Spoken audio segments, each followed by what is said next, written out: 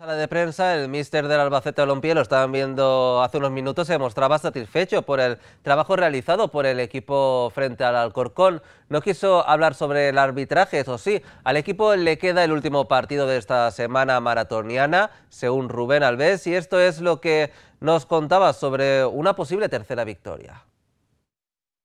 Lo que sí que está más cerca es el pleno, ¿no? De esas tres victorias de las que llevamos hablando mucho, muchos días. Eh, se le ganó a la Andorra, se gana hoy aquí al Alcorcón y como tú bien comentabas, queda el que era para ti el más difícil, que es el tercero ante el Levante el viernes en el Carlos Belmonte. Sí, pero es el más difícil mmm, no por, que a lo mejor se me malinterpretó, no por el nivel del, Andorra o del Alcorcón, que ganar aquí creo que, que no es fácil hacerlo, eh, sino por el hecho de, de, la fatiga que llevamos acumulada en ese tercer partido, ¿no? que vamos a jugar tres partidos en seis días.